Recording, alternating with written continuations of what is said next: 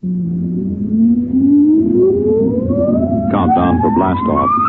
X minus five, four, three, two, X minus one, fire.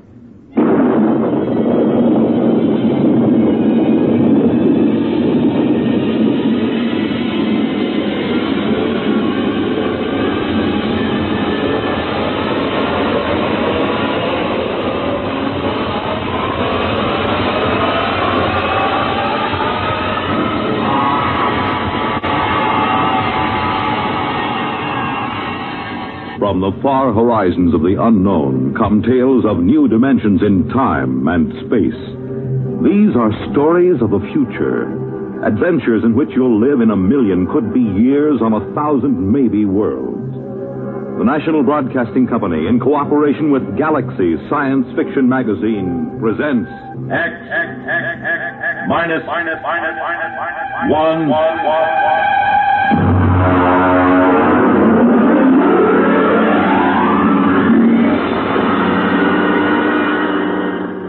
Tonight, gray flannel armor. But first, hear this.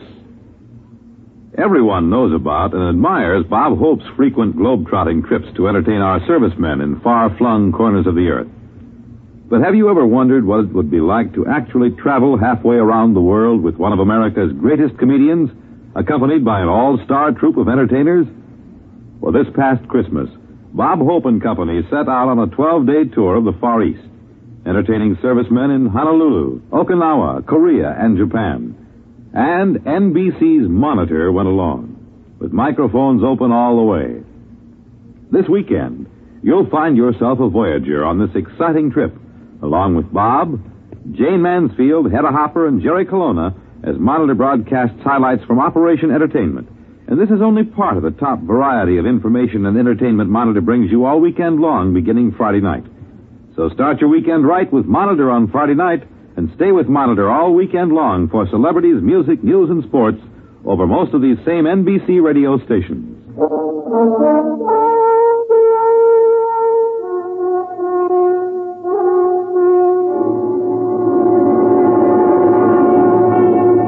Now, X minus one and part one of Gray Flannel Armor.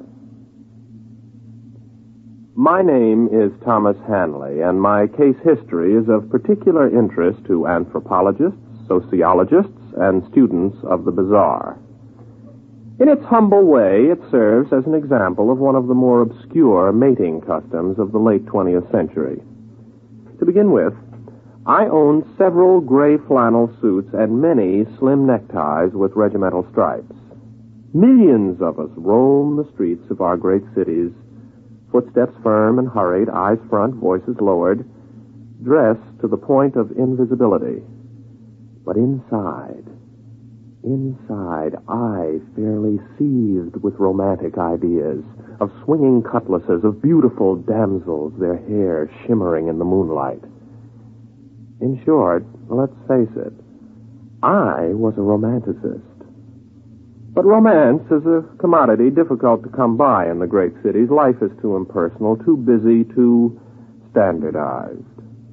This particular Friday night, I returned from my office to my one room apartment and prepared to face another long, dull weekend. Then the doorbell rang.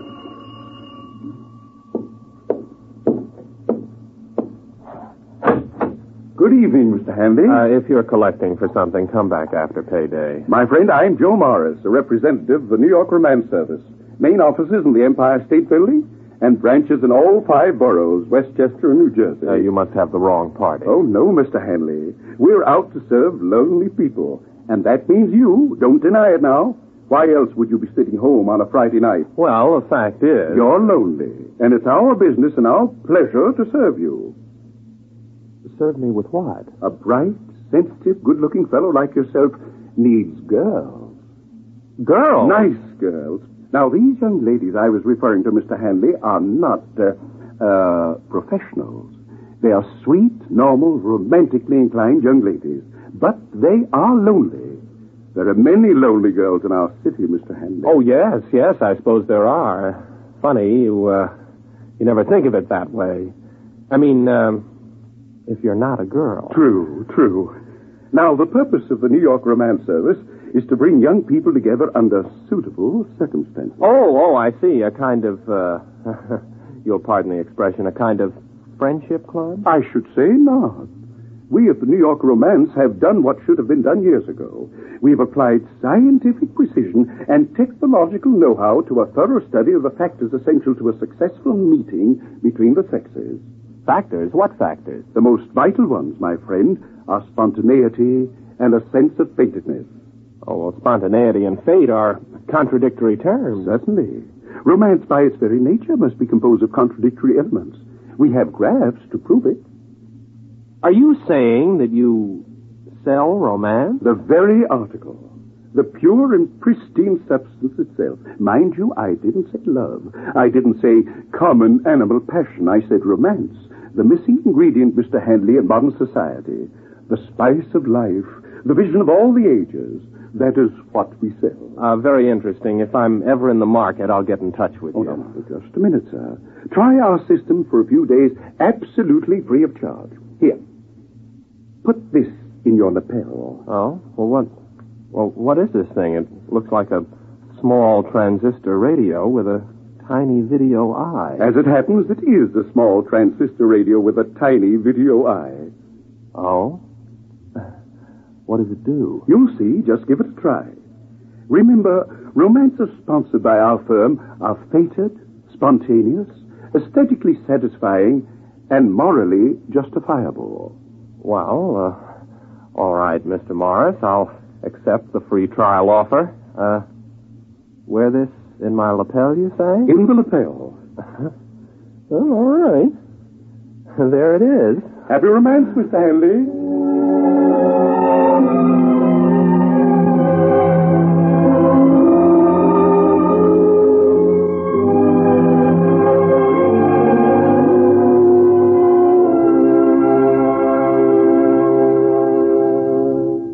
You're listening to The Gray Flannel Armor, tonight's attraction on X minus one. Are you able to brush your own teeth? Not everyone can. Not a man whose arms have been crippled by polio. There are thousands of disabled polio survivors who must depend on someone else to help them perform the simplest, most personal acts. With your help, many polio victims can learn how to be independent. Right now, there are 100,000 survivors of crippling polio who need help. They need your dimes and dollars to pay for expensive care and equipment. Your contributions will provide trained hands to teach a polio survivor how to live with his disability. Thanks to you, a polio scarred life will once again seem worth living. Remember, your generosity is the one hope of thousands for whom Salk vaccine came too late. Join the 1958 March of Dimes. Won't you right now send your dimes and dollars to your local March of Dimes headquarters?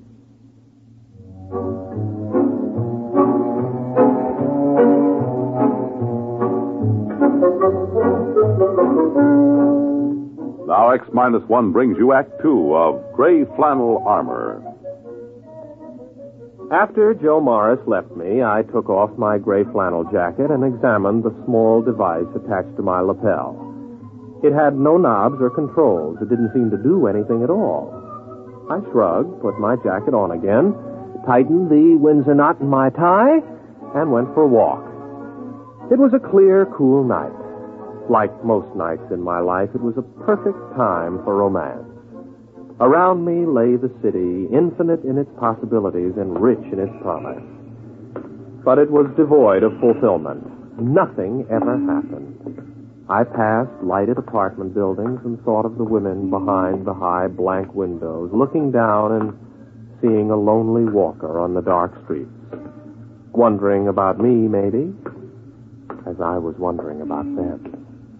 Nice to be on the roof of a building, look down on the city. Huh? Huh? Who said that? I, I wonder. Oh, sure. this transistor thing.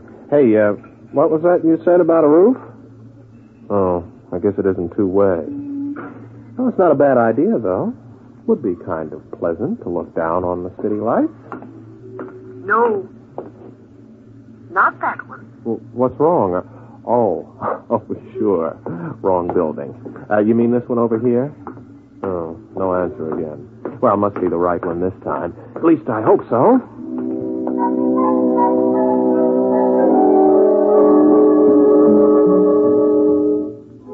I walked into the lobby, and I remember thinking how you had to hand it to New York romances. They seemed to know what they were doing. I took the self-service elevator to the top floor. From there, I walked up a flight of stairs to the roof.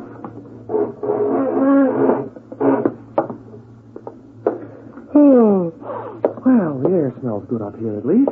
No, not that side. The west side. Okay. I hope you know what you're doing. I certainly don't. this turns out to be some sort of joke. I'll. Oh, Hello.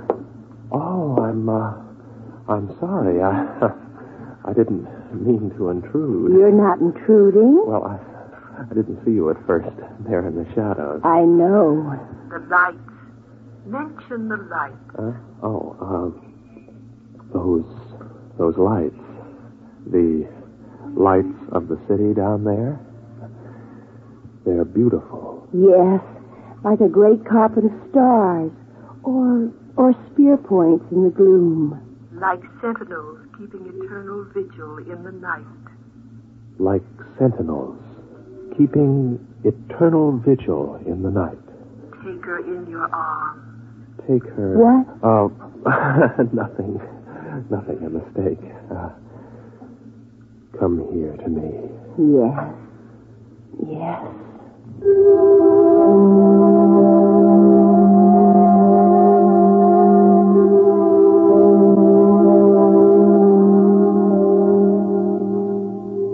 As she was melting in my arms, I caught sight of the small transistor set pinned to her shoulder strap. The one exactly like the one in my lapel. You can't help feeling a little odd about a romantic meeting set up and sponsored by transistor radios. I could visualize a million young men in gray flannel suits roaming the streets in response to barely heard commands from a million tiny radios. Ah, I tried to forget my doubts. The next night, I took another walk and found myself in a slum section of the city. I decided I'd made a mistake and started to turn around. Why not walk on? Huh? You want me to walk down this alley? Oh, well. Help! Help! Oh, oh, good night. Uh, two muggers after a girl. I'd, uh, I'd better look for a policeman. Why do that? You can handle Uh, them. No, no, no. A policeman can do it a lot better. No, you must do it. Now. But, but, but, but there's two men. They're probably armed. You can do it. Oh, oh, well, here goes. Oh, you know. Now, wait a minute. Oh, let- wait, I'll, I'll save you. Let go over, you rat. Oh, oh, there. Take that. And that. Ah, that'll teach you to harm a helpless girl. Oh. You, you saved me. You saved my life. I had to come. I had to come. Yes, I know. Take her in your arms. Yes, I know.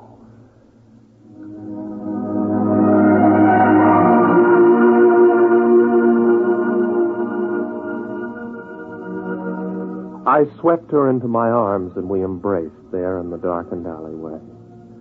As I held her close, my cheek brushed a shining jewel in her raven black hair.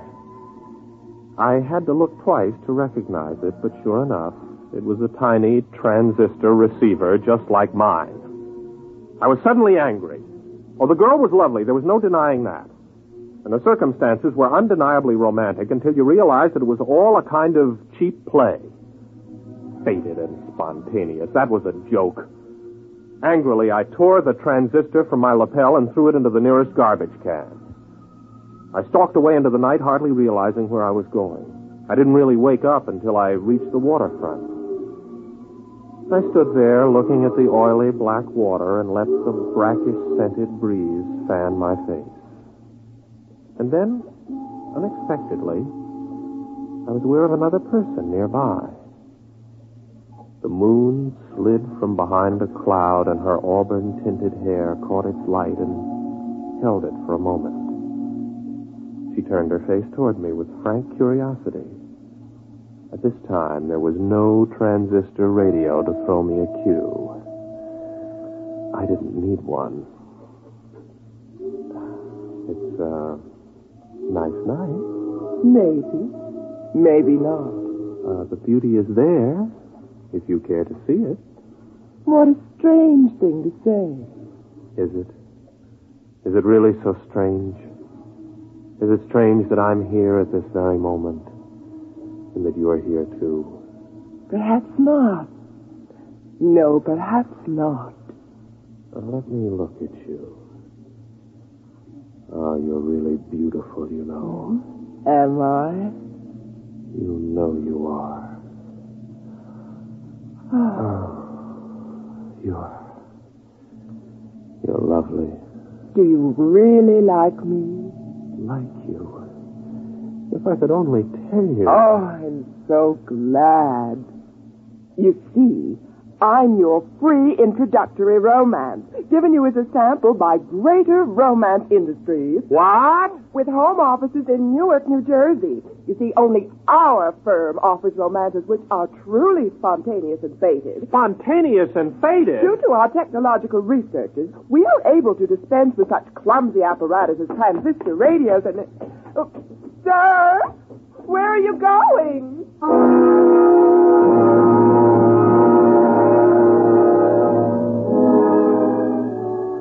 I was sick and disgusted. After that, there were several other attempts to get in touch with me, but I ignored them. I wanted no more to do with the romance game. In a couple of days, I called up a twittering aunt of mine, and she arranged a blind date for me with the daughter of one of her oldest friends. The blind date was a nice, friendly girl with plain, mousy brown hair. We were introduced in my aunt's living room, and we sat out on her sun porch and talked. So you're Tom Hanley. Yeah, yeah, I, uh, yes, I am. Your aunt has told me a lot about you. You work in advertising, don't you? Yes, yes, that's right. Um, uh, Madison Avenue. Oh, I think that's thrilling. Advertising, I mean. It's such an, an interesting field. Well, we, uh, we like to think so. yes, I imagine you do all right. Uh, seems like, uh, it's warmer this evening, doesn't it? Oh, yes, it is. Although I don't mind the cooler weather so much. Lots of people complain about it, but I don't mind. Well, I, I don't either, I guess. As long as you're dressed for it. yes, I suppose that's the secret. oh, I was just thinking, uh, do you like bowling? Oh, I don't know. I- I've never bowled. Oh. Do you like tennis? I'm crazy about tennis. Well, tennis is all right. Yeah. I guess you could say tennis is fine. I'm crazy about it.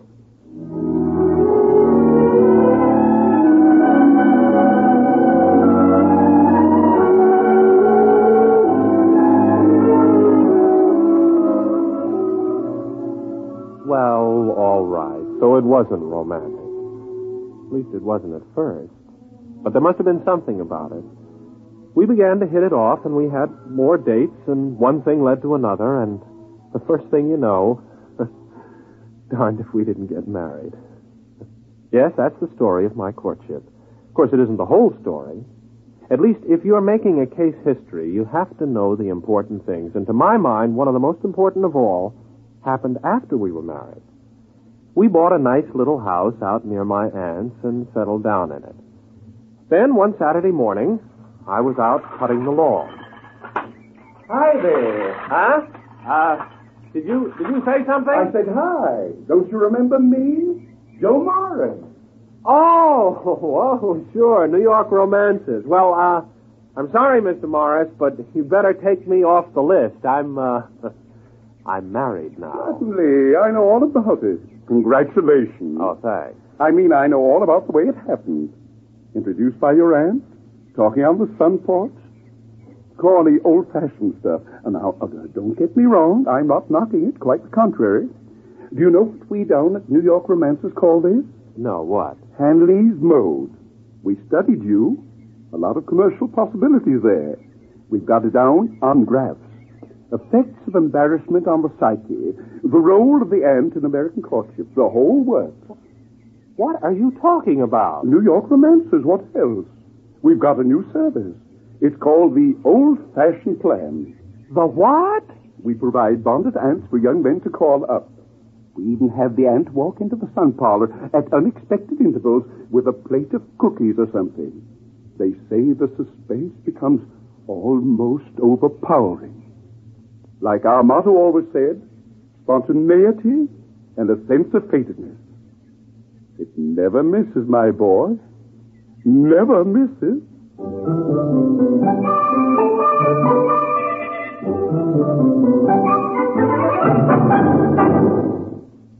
You have just heard X Minus One presented by the National Broadcasting Company in cooperation with Galaxy Science Fiction Magazine, which this month features The Repairman by Harry Harrison.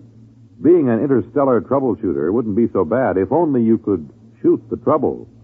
Galaxy Magazine on your newsstand today.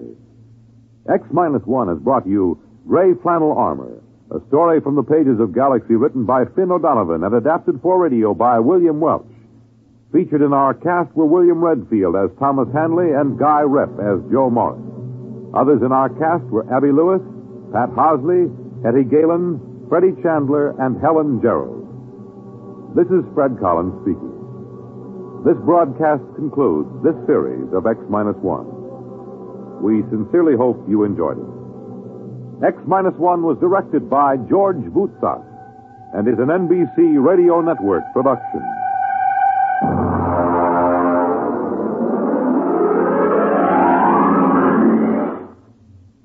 Guest star Don Ameche is your host on Nightline, your line to new worlds of entertainment after dark. Tonight on most of these NBC stations.